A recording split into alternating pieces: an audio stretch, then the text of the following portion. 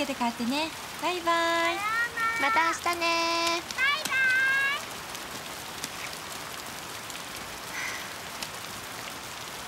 ねえ今日飲みに行かない？あー読みたい資料結構あるんだよね。もう今日こ根詰めすぎ。たまには息抜きも必要でしょ？ね。ねはい決まり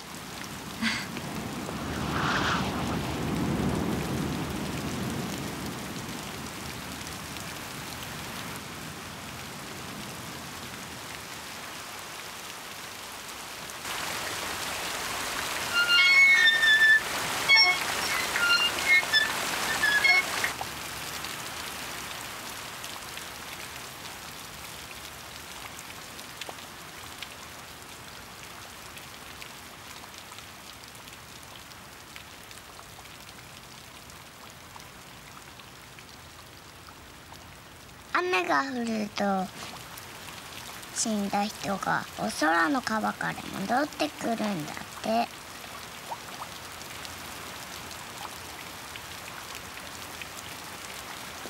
リカちゃん誰が言ったの？そんなこと。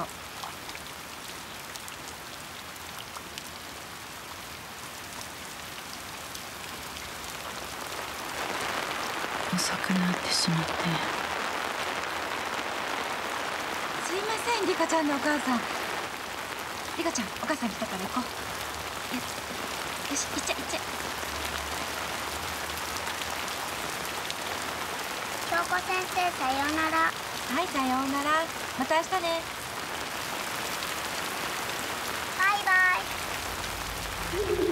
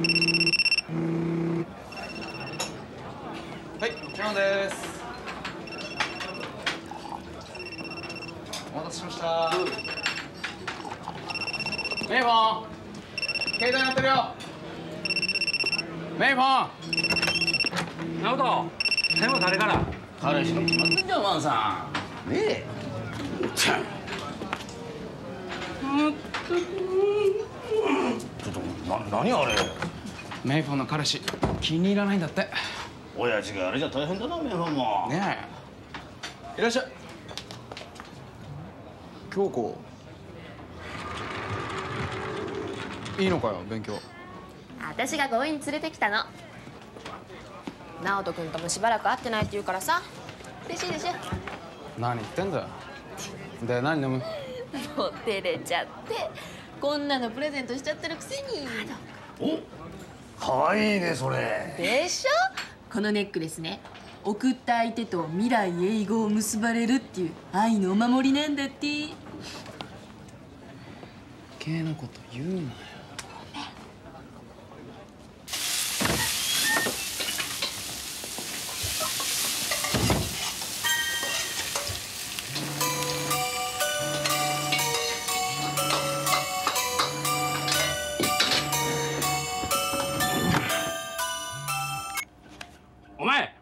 娘電話するな言うだろ付き合うのため。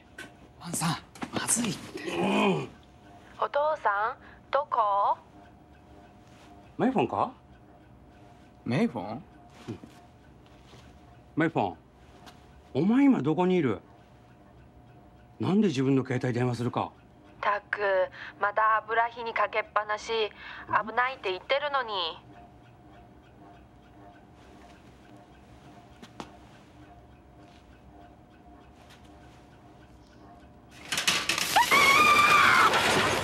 マイフォン二枚してるわマイフォン。ワンさん、どうしたの？あとマイフォンが。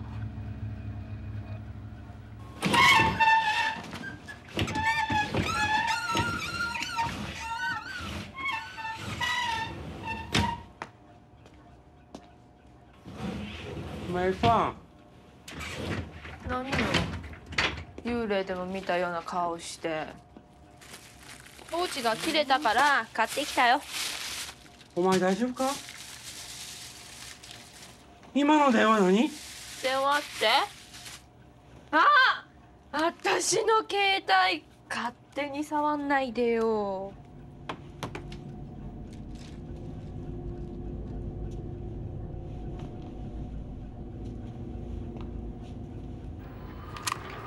チャイルドセラピスト？京子保母さん辞めちゃうの？うんやめないよ。チャイルドセラピストの講座を受けてるのは少しでも子供たちの力になれたらと思って。園児の中にもいるわけよ。ヤバそうな子。虐待とかね。ワンさんは？奥じゃない。ノート京子待っててくれてんだから先に上がっていいよ。サンキューちょっと待って。てじゃんあ変えたの？うん番号も変わったんだ。送るね。うん。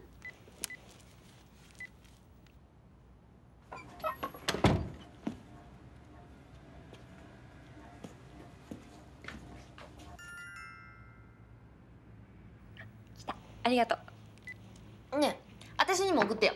お。ワンさん。明日の仕込みだけどさばあさ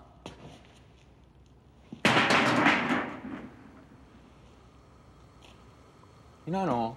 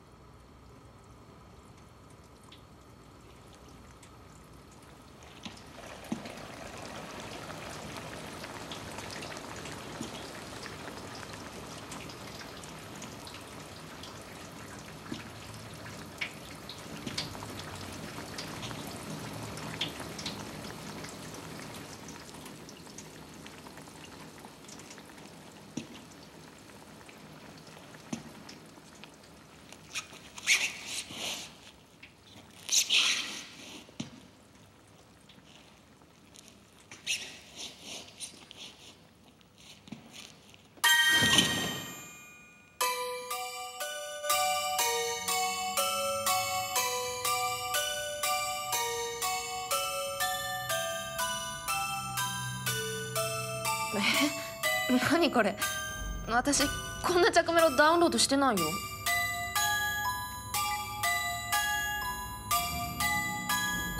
間違って入れたんじゃないの？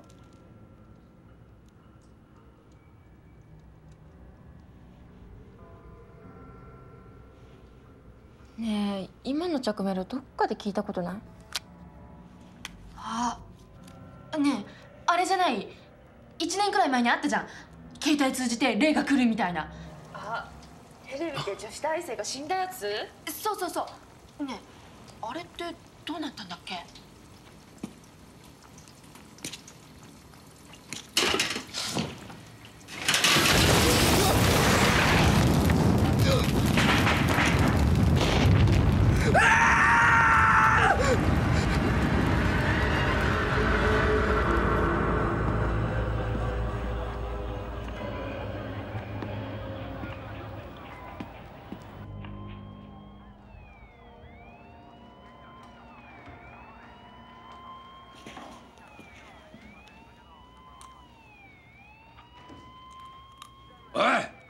何やってんだ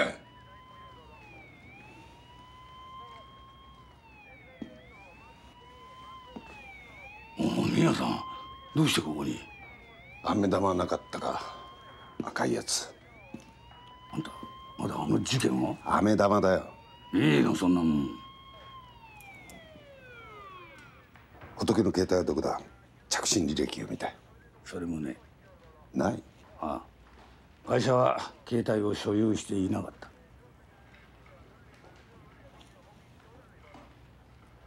そうか。あんたこんなことバレたら首が飛ぶぞ。邪魔したな。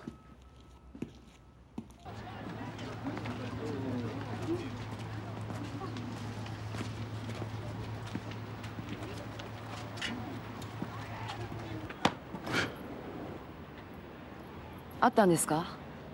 口の中に飴。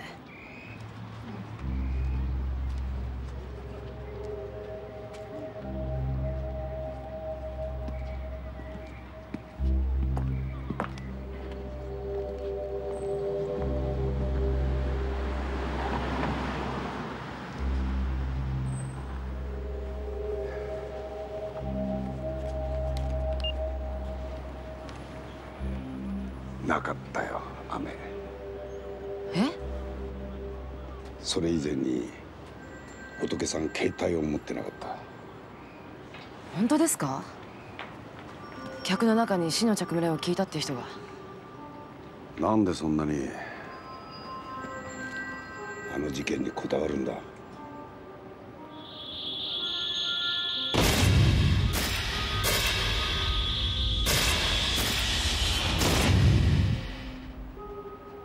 私の仕事ですから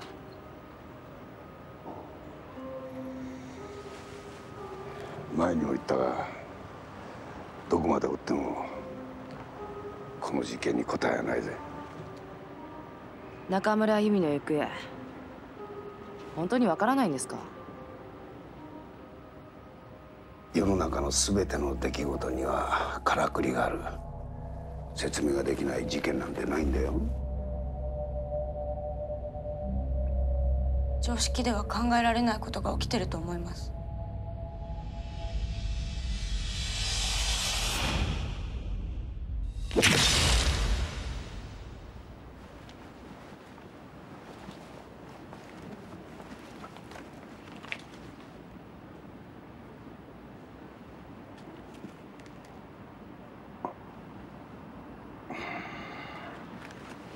続いてるんですね一年以上も。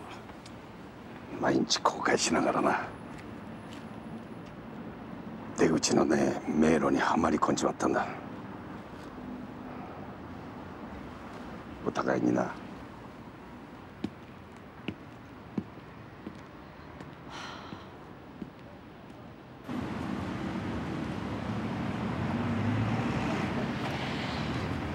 もしもし京子今事情聴取終わった。そいつ大丈夫？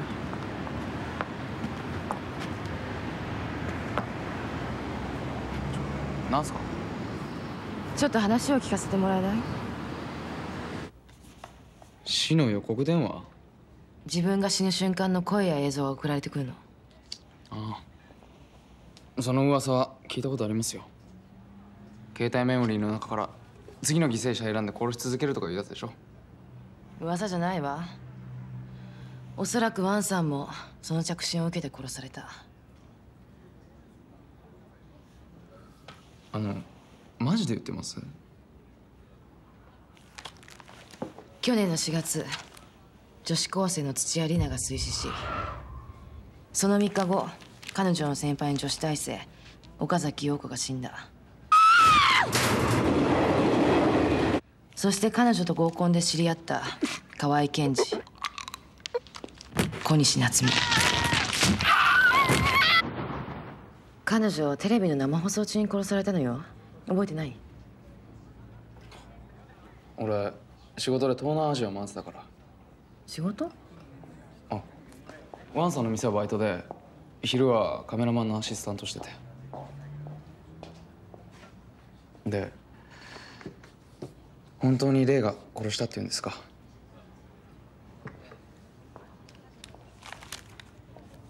水沼美美子一昨年の9月に死んでる。ここ数日の間何か変わったことはなかった？いや別に何も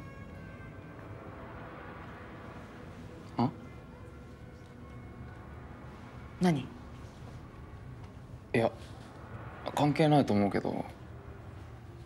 ワンさん名簿にかかってきた電話に出た時なんか変な感じだったかな。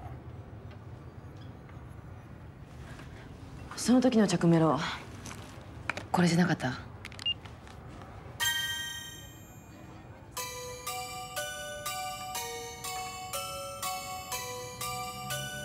うん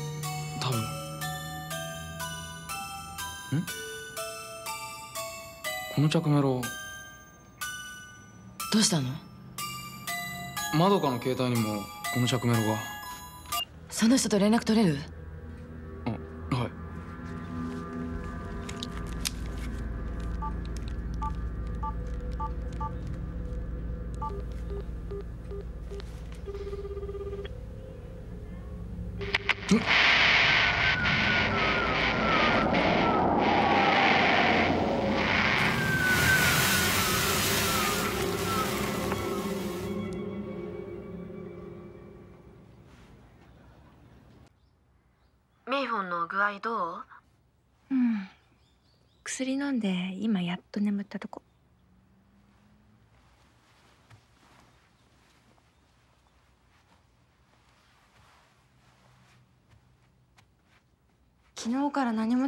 ないって言うからおかゆ作ったんだけどやっぱり受け付けないみたいで。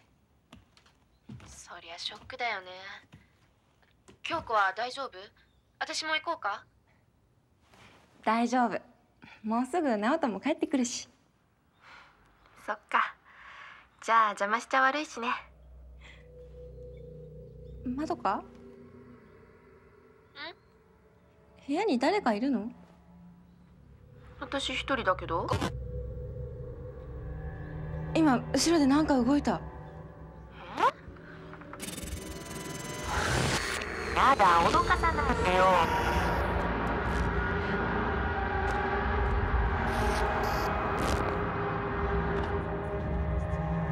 まどか。今すぐ部屋出て。どうして？まどかの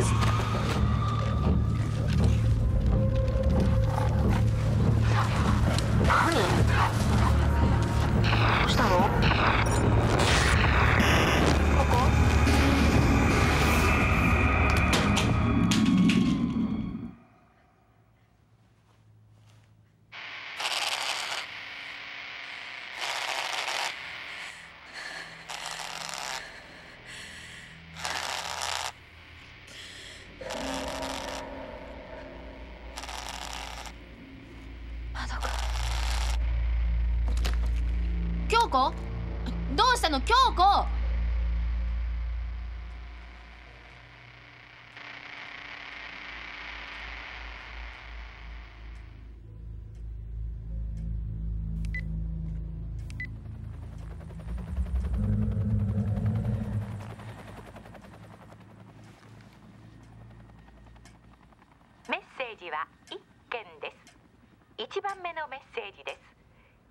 日18時。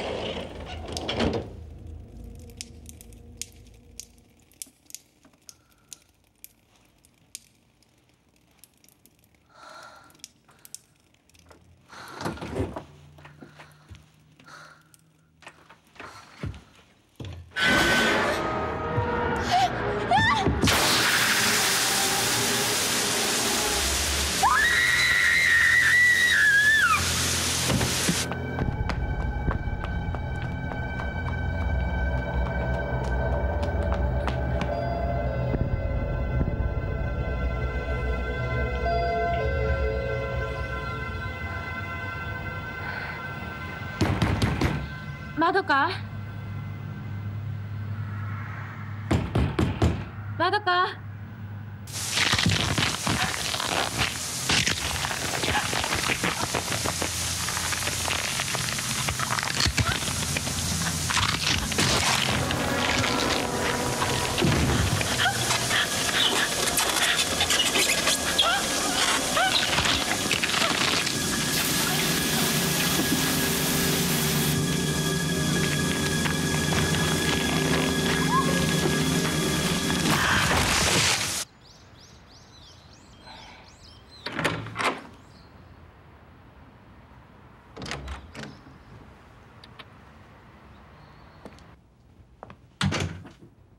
どか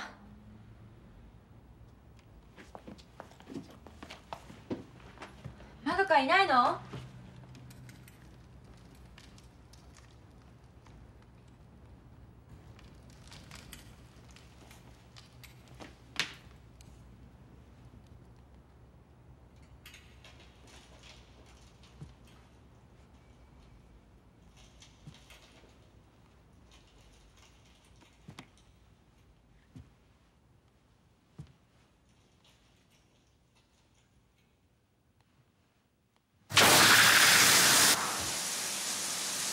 どか？ま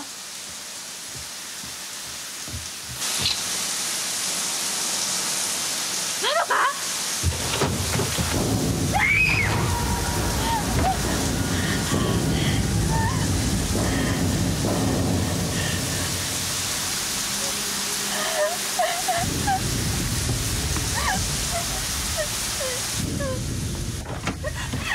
京子大丈夫か？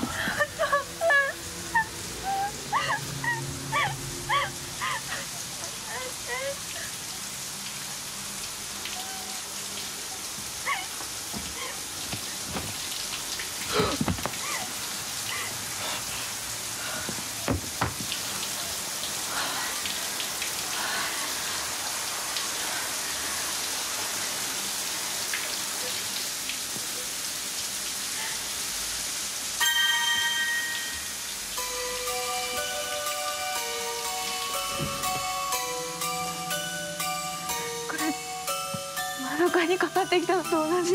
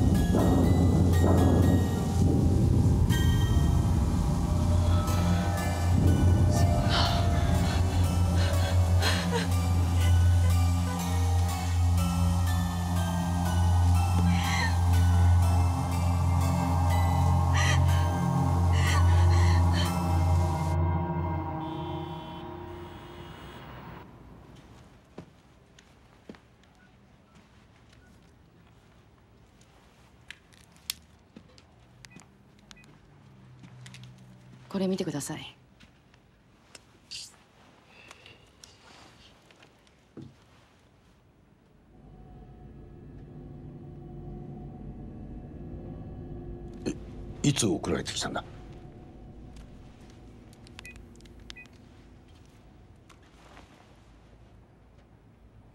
3日後？未来からの電話ってこれがあの連続殺人の？やっぱりまだ続いてたのか。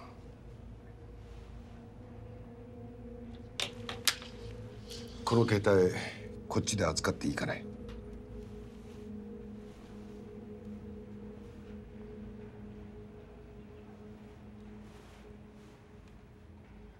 この画像の場所すぐに特定しろ。でもこの件は勝手に動いちゃまずいっすよ。課長に報告してから。時間がねえんだ。すぐにやれよ。無理ですって。相手が生身の人間じゃないのにどうやってわっぱかけろって言うんすか。これ警察って防ぎようがないんじゃないですか。おい。すいません。あの京子助けてもらえるんですよね？大丈夫ですよね？ああ。できる限りのことはやる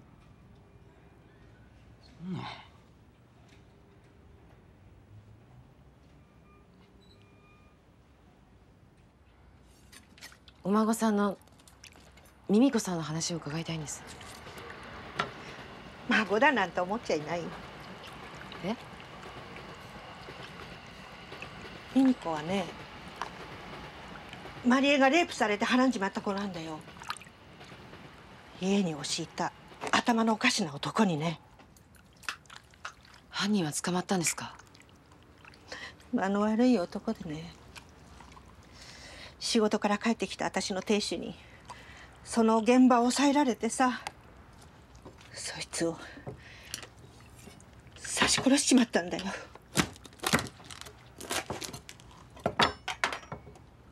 ご主人は今どちらに？首相を変えたらしいよ。再へブー不意注意だが口癖だったけどね。二度と帰らない？ご主人中国の方だったんですか？台湾だよ。あんた北京語わかるのかい？少し。ご主人の名前は？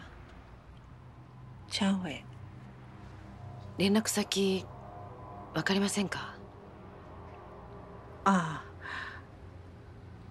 ただ話が聞けるかどうかわからないよ。刑務所にいる頃からおかしくなってたからね。おかしく？見えるって言うんだよ。女の子が自分を殺しに来るって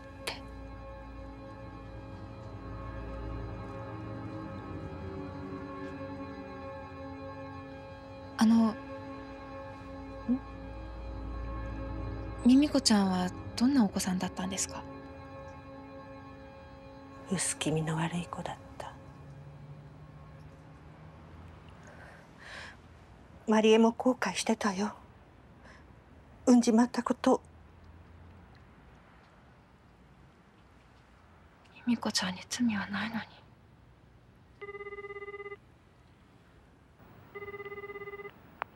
您拨的电话已暂停使用。The number dial is on temporary suspension。您拨的电话已暂停使用。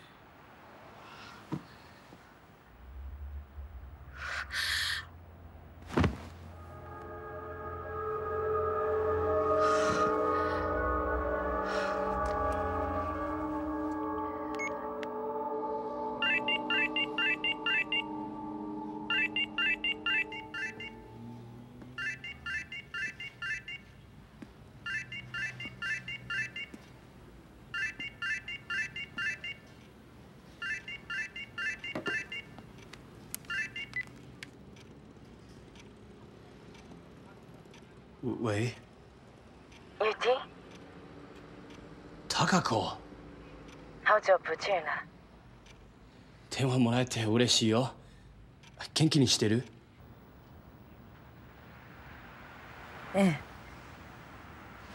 ちょっと調べてもらいたいことがあるの台湾にいるチャンウェイって男性を探してもらいたいの住所が変わっていなければ台北にいるはずなんだけどはい、分かった。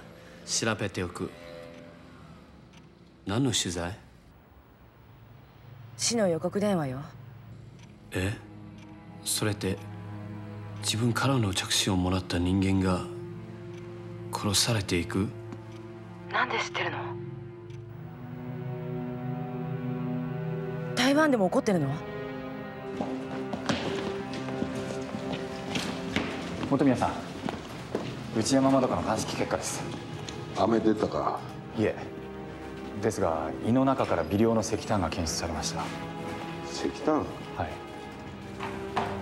ミミコに殺された死体から必ず赤い雨が出たんだな。それが一昨日殺害された台湾料理店の店主の胃の中からも同じ成分の石炭が検出されているそうです。鑑識の話では日本の石炭じゃないらしくて。が調べてください。なんで台湾なんだ？台湾でも同様の事件が起こっていたそうです。何？しかも水沼ミミ子が死亡する。ずっと以前から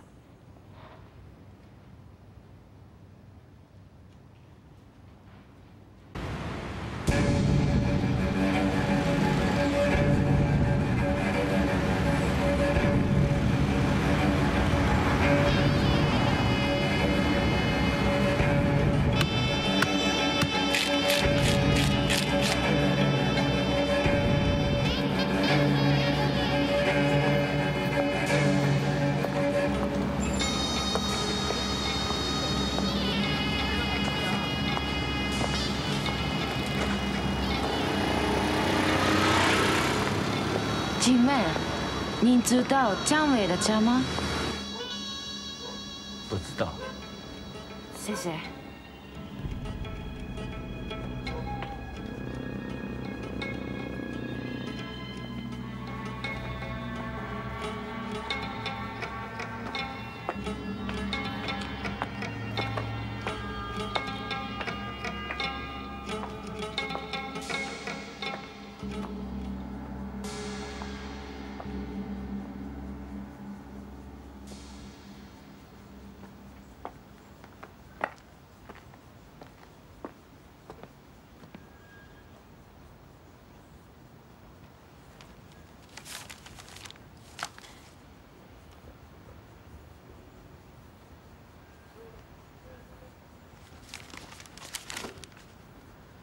チャンセン？シ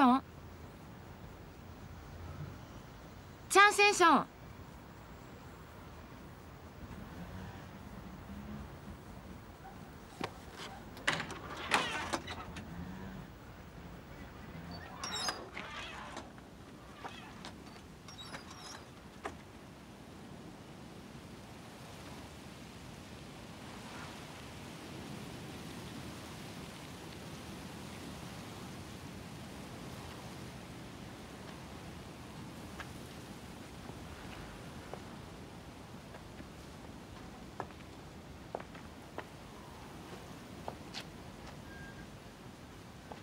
在家吗？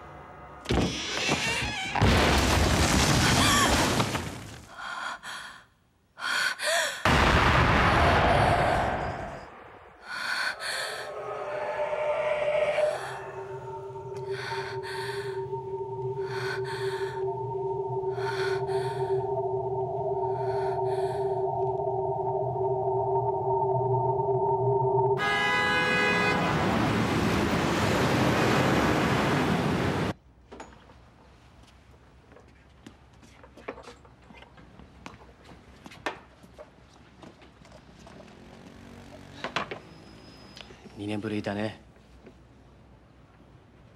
まだしてるの？別れたわけじゃないんだから別居通り君は違うでしょ？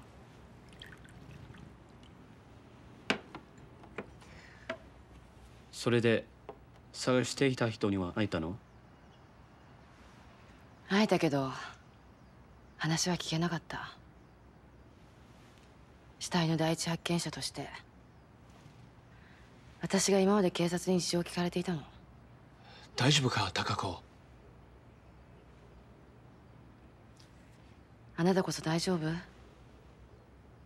疲れてるみたい。あ最近忙しかったからな。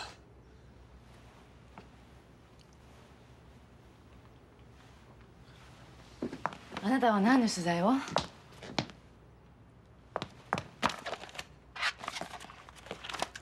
これ着信を受けて死んだ人のリスト？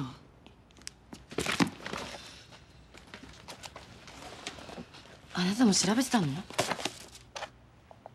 ユーティン？この件に関わらない方がいい。どういうこと？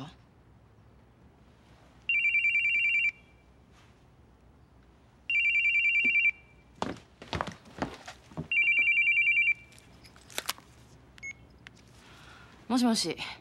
あ桜井ですけど。水沼美美子のおじいさんには会えましたか？チャーメイさんもすでに殺されていたわ。死の予告電話を受けて。え？チャン・ウェイさんの携帯のメモリーから選ばれた次の犠牲者が水沼美美子だったのかもしれない。水沼美美子の解剖結果出ました。どうだった？本宮さんが言った通りっすよ胃の中に微量の石炭が。そうか。ワンさんとマドカも赤い飴じゃなくて石炭が検出された。じゃあ京子のとこに来んのは？ミミコじゃないかもしれない。警察で聞いたその石炭の産出場所と疑われる炭鉱はミミコの祖父の生まれ故郷だったわ。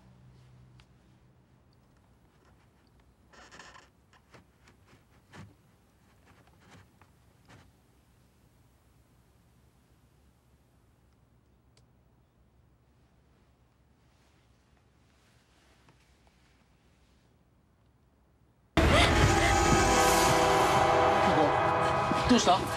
京子。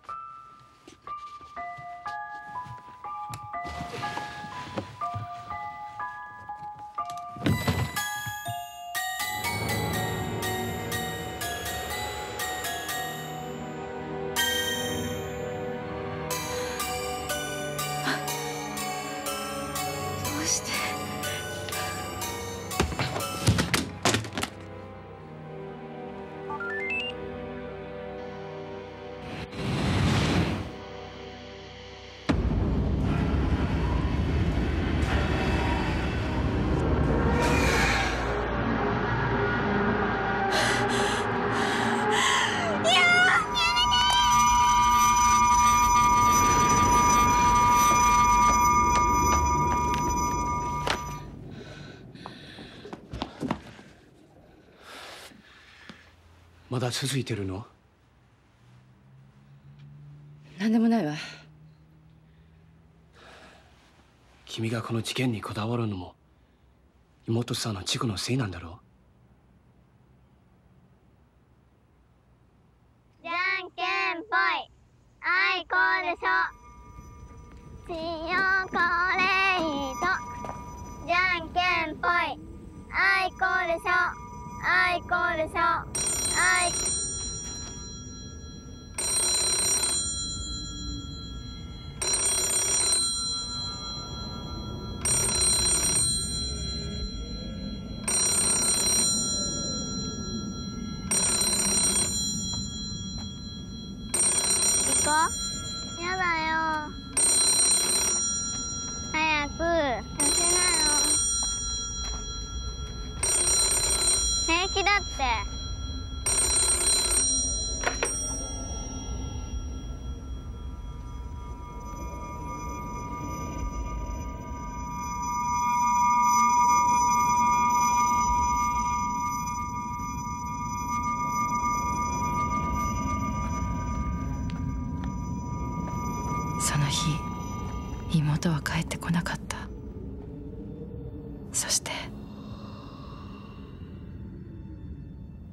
あの晩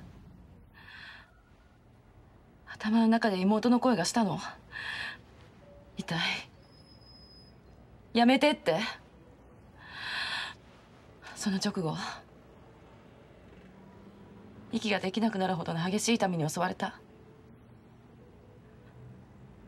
あの時妹は妹は誤って川に落ちたんじゃない。殺されたのよ。私が取らせた電話の相手に。貴子自分を責めるのはもうやめるんだ。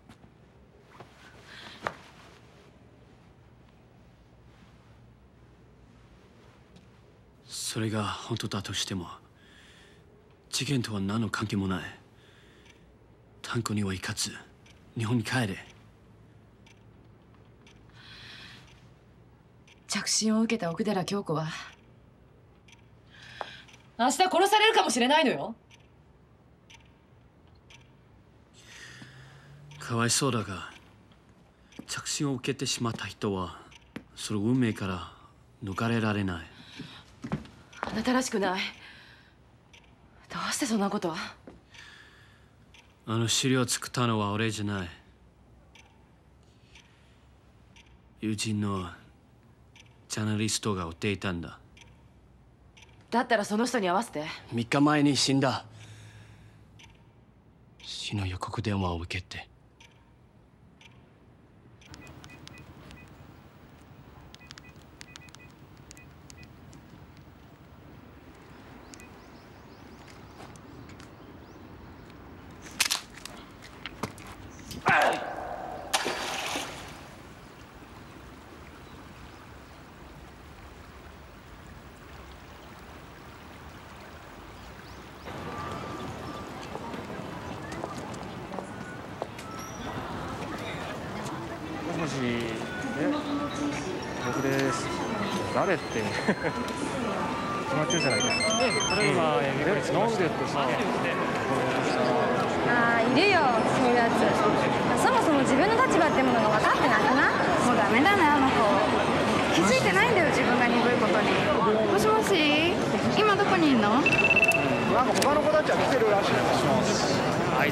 だよ。本当マジで。ちゃんと名乗ってるじゃん。何言ってるんですか。本当うざいわ殺しちゃうかもしれない。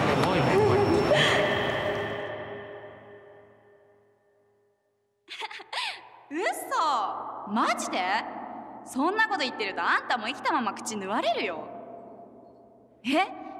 知らないの？この話。超有名じゃん。あのね夜中の2時22分に女の子が枕元に立つんだって。その子の顔には口がないの。だけどよくよく見るとあるんだって口。ないみたいに見えるのは生きたまま縫われてるからなんだって。その女の子が縫われた口で言うの。遊ぼうって。その時何も答えなかったり嫌って言ったりしちゃうとその子にぶっとい針で生きたまま口縫われて教えて。なんて答えるの？何？なんて答えればいいの？何？ただの噂話じゃん。噂話？ごめんなさい。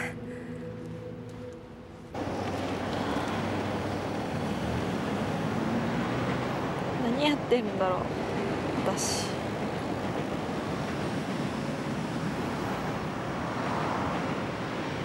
なあ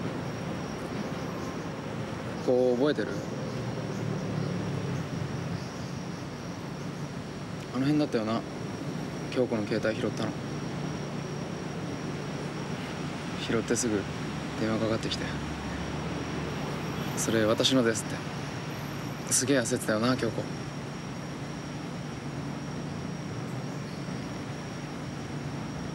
あの時俺が携帯拾わなかったらこんなことにならなかったのか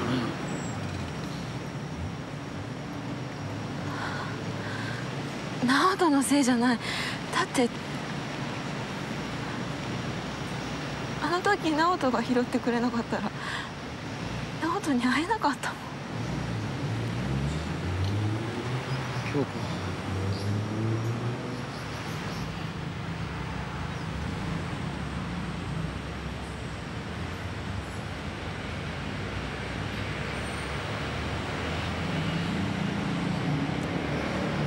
直人私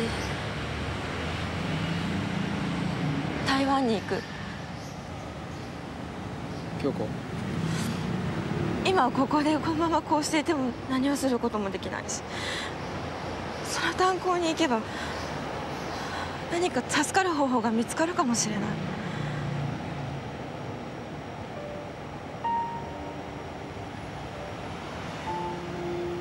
俺が行くよ。台湾は俺一人で行く京子を危ない目に遭わせたくないから。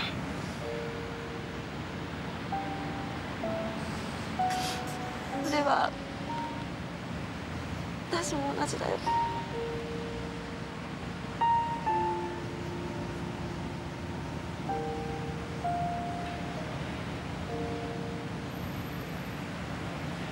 分かった。一緒に行こう。俺が守るから絶対守るから。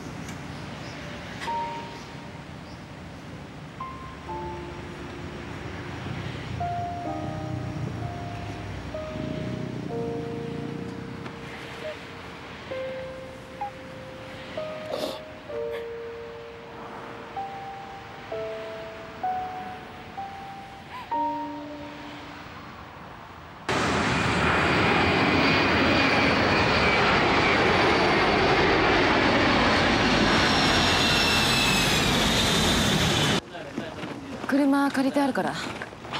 すいません。大丈夫？はい。今日の夜までまだ時間ありますから。強いのね。直人のおかげです。炭鉱に行く前に一箇所だけ呼びさせて。どこへ？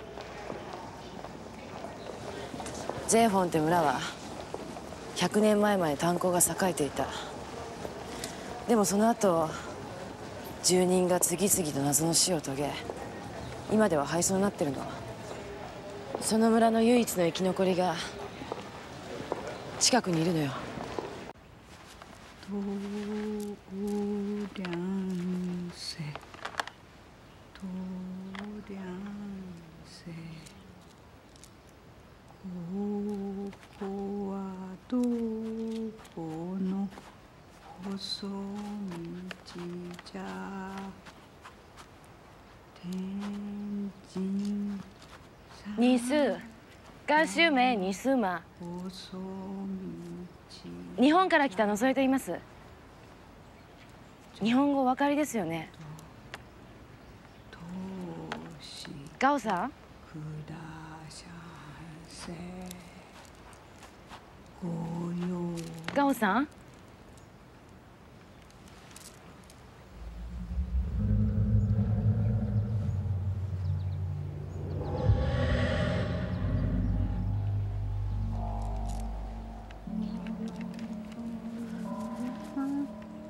お尋ねしたいことがあって来ました。ガオさん。ガオさんはゼフォンご出身の方ですよね。教えてください。ゼフォンで何があったんです？どうして村の人々は次々に亡くなっていったんですか？ガオさん。ガオさん。あなたしか話が聞ける人がいないんです。ガオさん。ガオさん。怪怪的耶！你有看到他的眼睛吗？他在小时候自己戳瞎的，哎，而且是用筷子这样。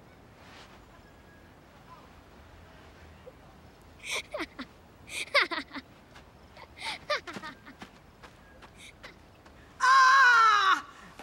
金宝有我，丽丽回来杀人啦！丽丽回来杀人啦！丽丽回来杀人啦！丽丽回来杀人啦！リリーって誰なんですか！しっ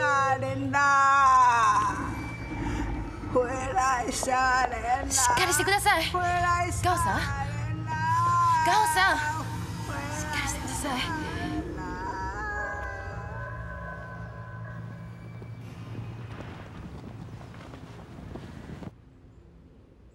リリは化け物だ。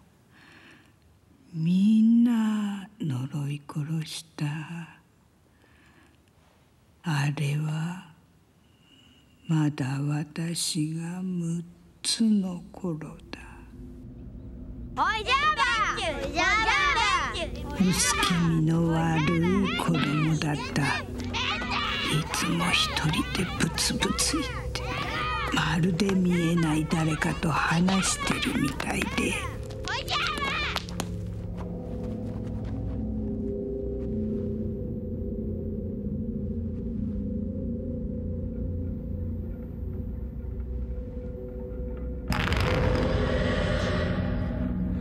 天后你会死。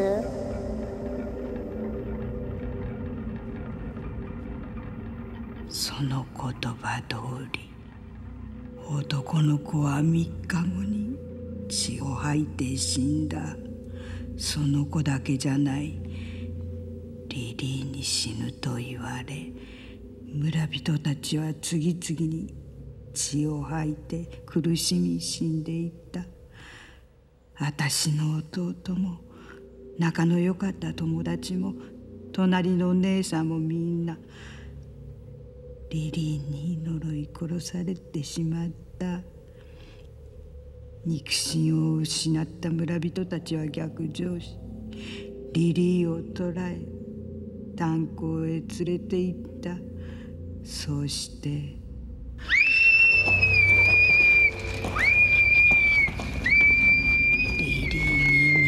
死を予言させちゃならねえ。そう言って泣き叫ぶリリーの口を。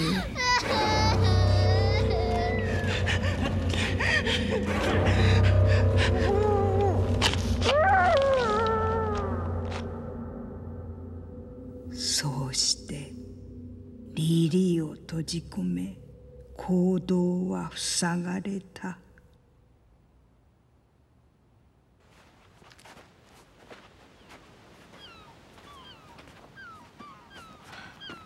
野添さんここから先は私たちだけで行きます。え？着信を受けていない野添さんを巻き込むわけには。あなたのためだけじゃないわ。刑事さんから聞きました。妹さんのこと。でも事故だったんですよねだったらこの事件とは関係ないのになんで？死ねばいいと思ったからよ。どうして？双子なのに。父は私だけを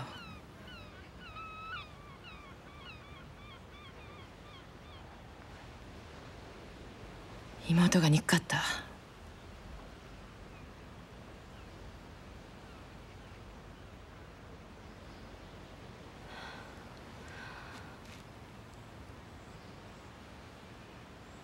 自分を責めないでください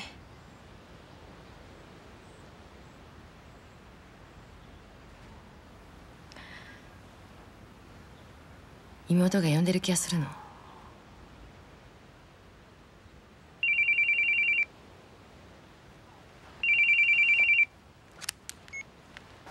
もしもし。高子今どこにいる？日本に帰ったんじゃなかったのか？これから炭鉱行くところよ。この件に関わるなと言ったろ？どうしちゃったの？本当に危険なんだ。もしかしてあなたも死の予告電話を受けたのそうなのね。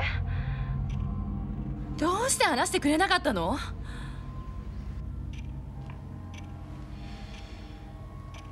君を巻き込みたくなかった。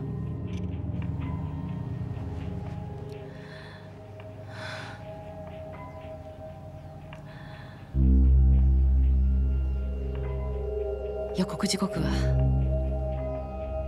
いつなの？本当に戻らなくていいんですか？19時59分で私より1時間も早い。戻っても何もできないわ。だったら。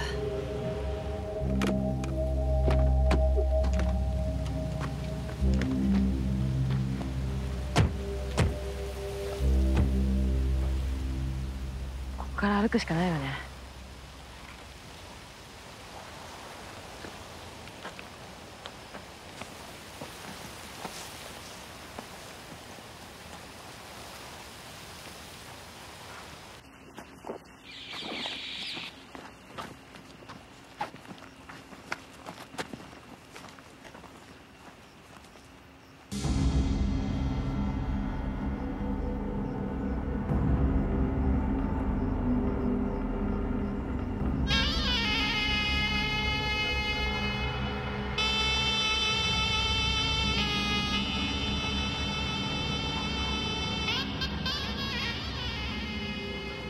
炭鉱の入り口を探しましょう。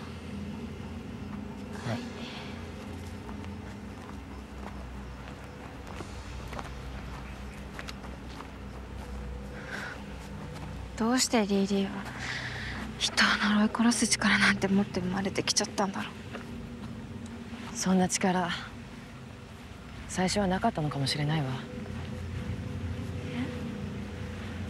昔この辺りで飲み水を媒体とする伝染病が流行ったの血を吐いて死ぬ症状がさっき聞いた話と同じ。じゃあリーリーは？もしかしたら彼女が持っていた特殊能力は人の死を予知する力だったのかもしれない。むごい殺され方をする前までは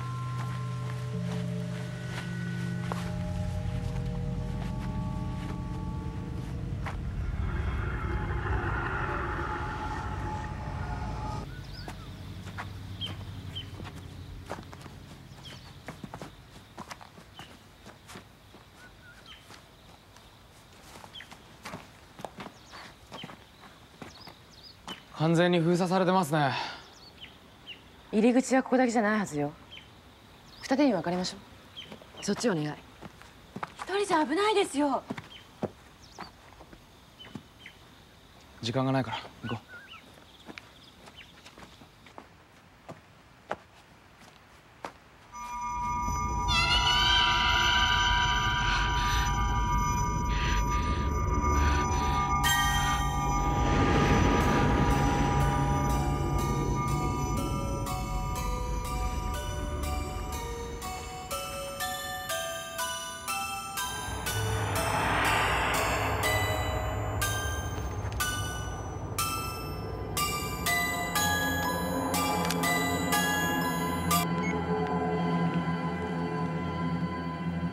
しもし。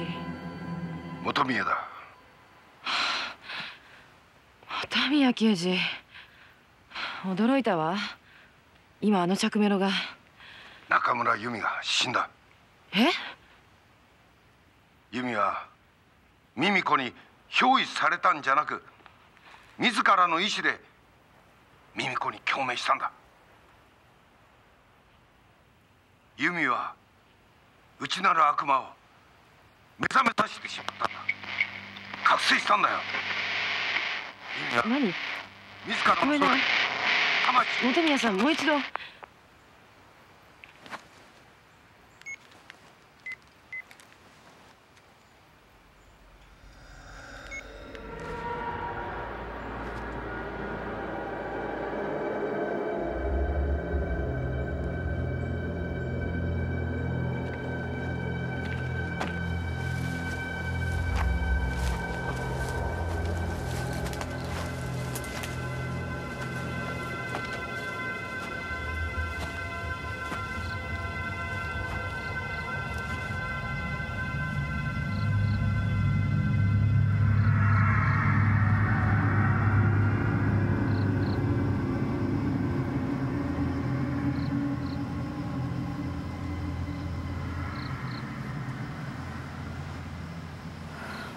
時間が。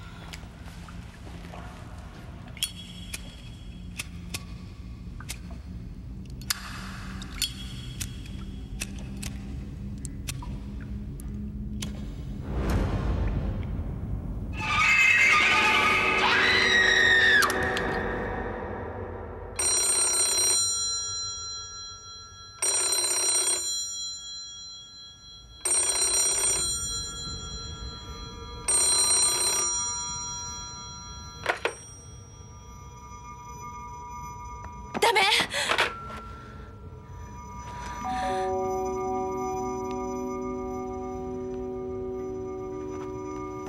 ごめん。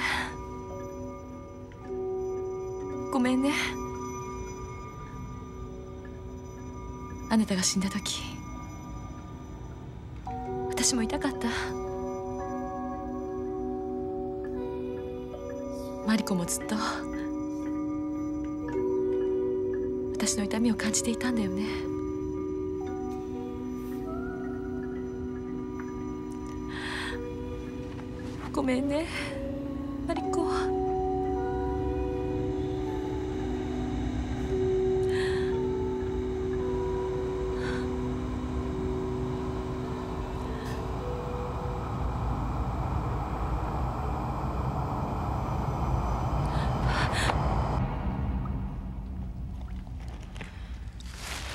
子リコマ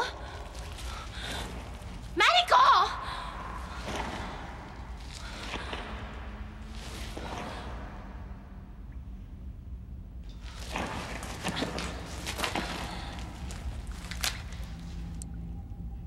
ユティ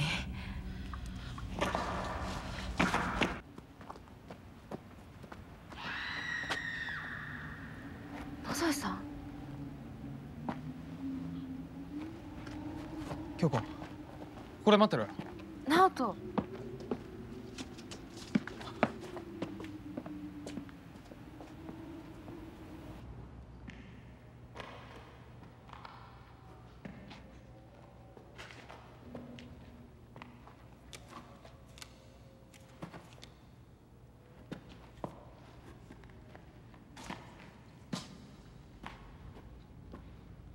野添さゆ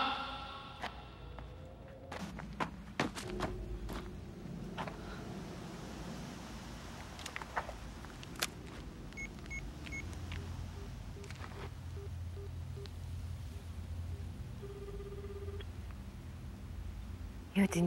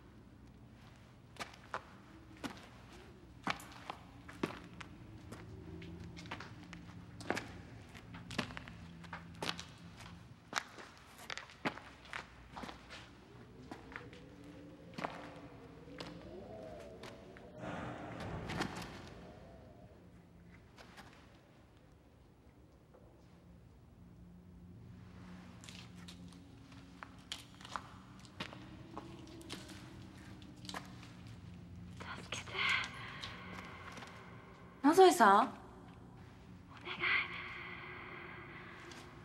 助けて。やめて。野添さん？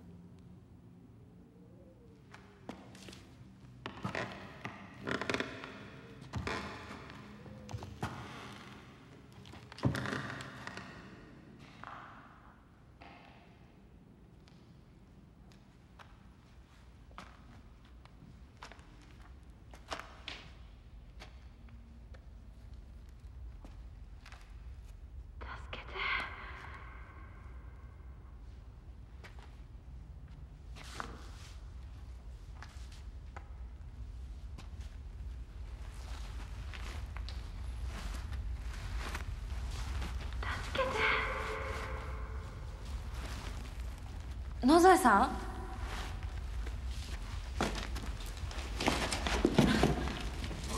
大丈夫ですか？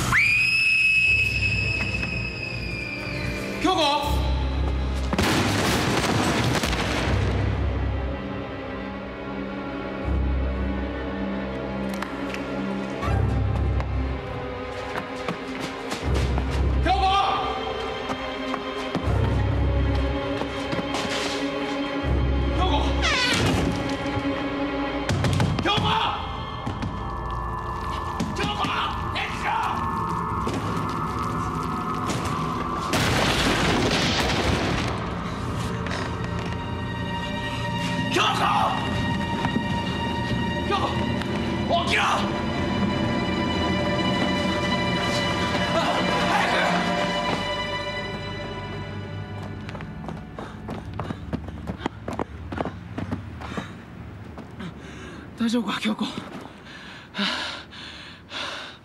京子。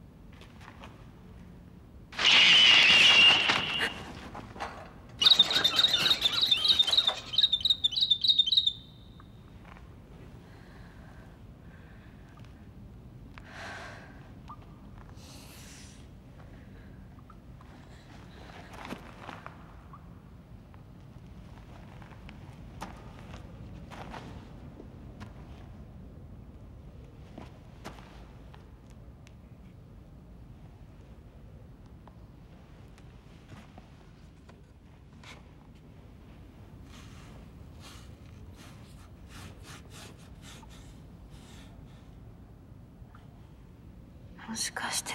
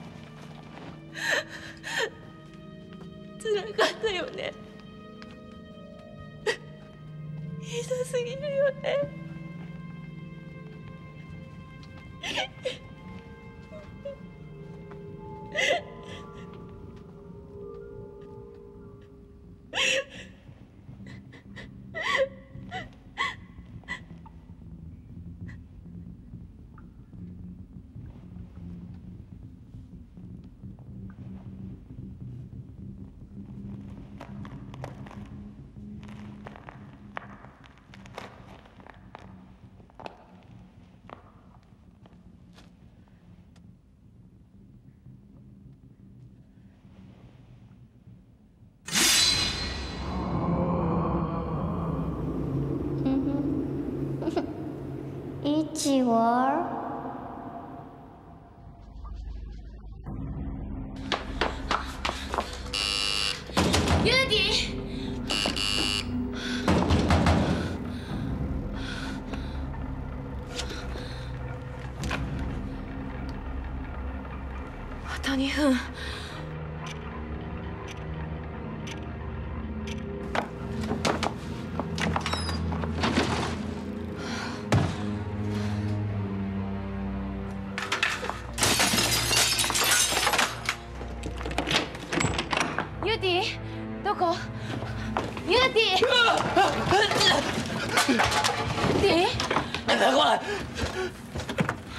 别顶！别过来！别顶！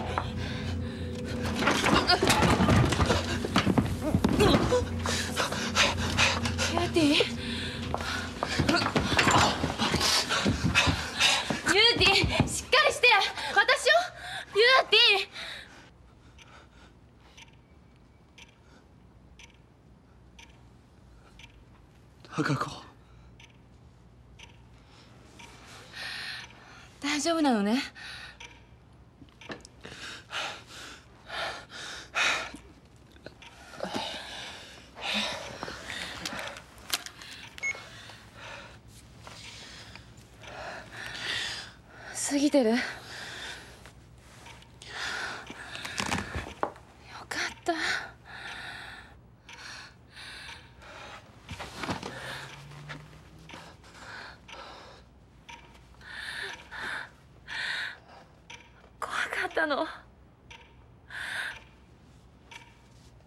に優しくされるのが怖かった。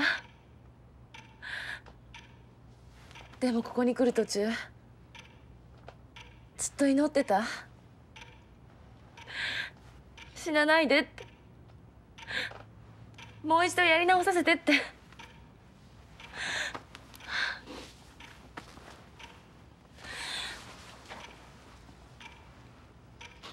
高子子が助けてくれたのかもしれない。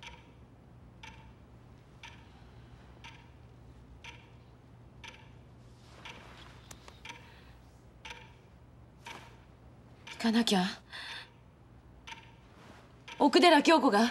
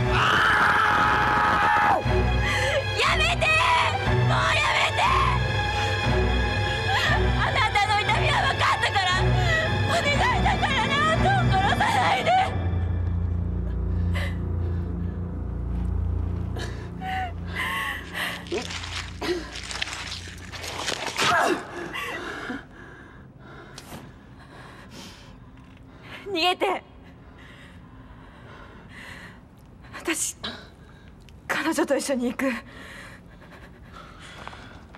何言ってんだ京子私が選ばれたのも偶然じゃないかもしれない。私にできることがあるかもしれない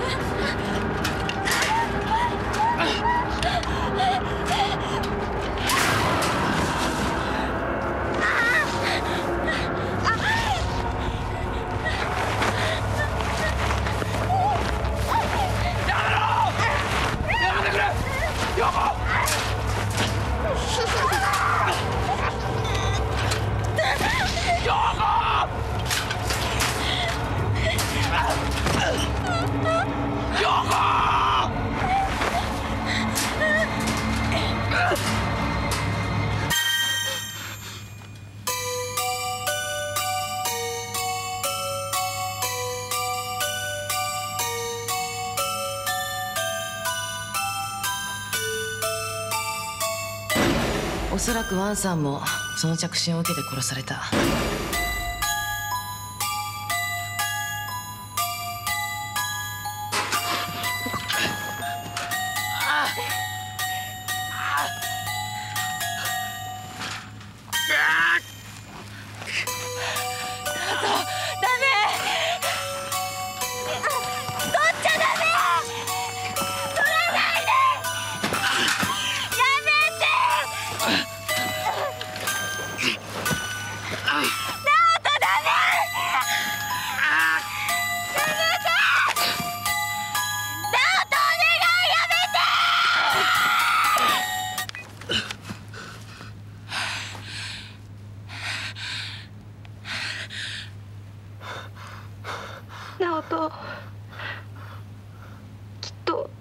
た。巡り会えるよね。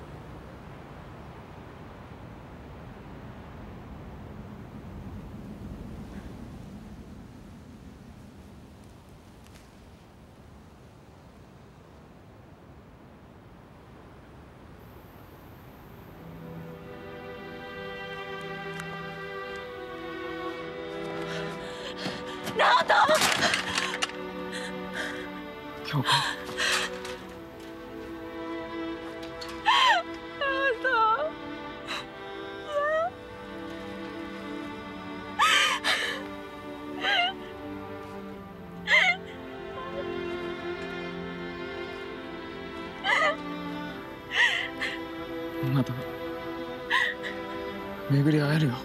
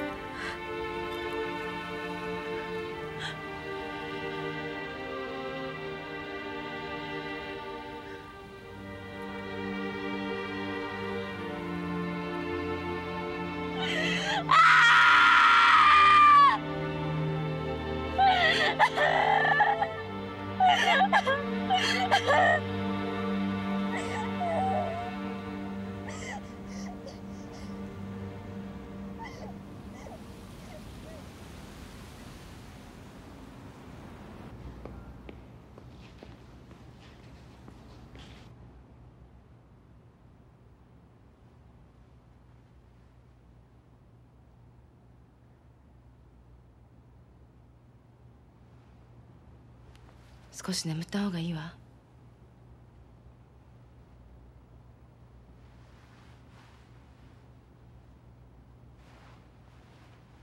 自分を責めるのやめて。直人君自身が望んでしたことなのよ。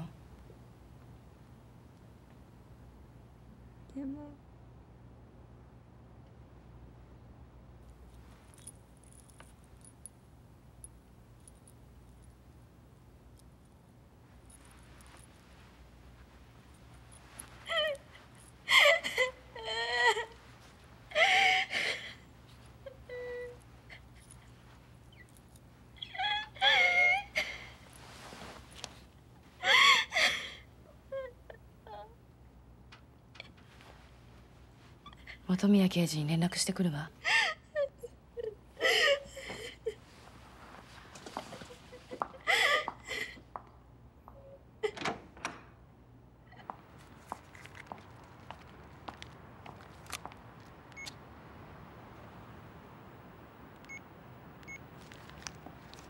世田谷東町の今野です。ご報告します。本宮刑事が死亡しました。中村由美の死体が上がったとの報告がありまして確認に行く途中車で崖から転落しました。それでちょっと気になることがあって最後に本宮さん駆けつけた救急隊員に言い残したらしいんです。ミミコだ。ミミコが来たって。昨日の夜のことです。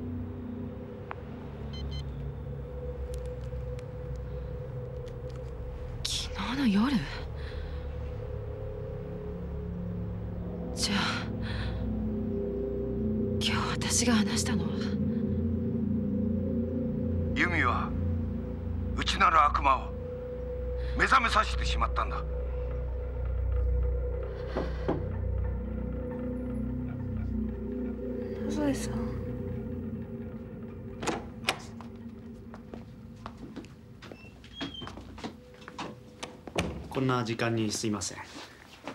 私台湾警察の林と言います。こちらは保安刑事。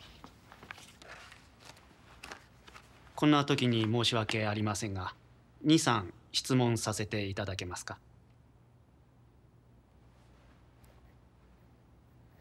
はい。今晩あの炭鉱で発見されたご遺体は2人ともあなたのお知り合いなんですね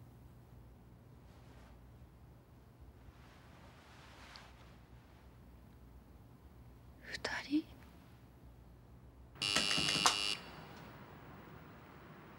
ユーティいないの？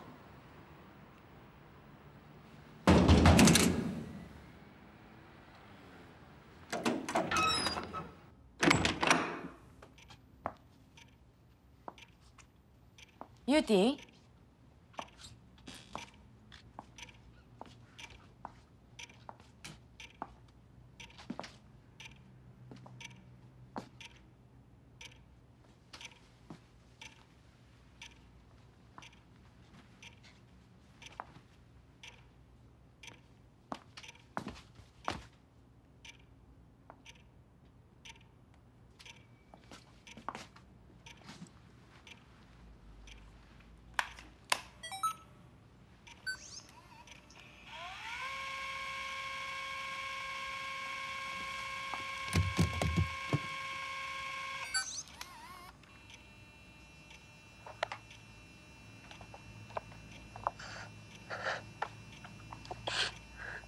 望这番代志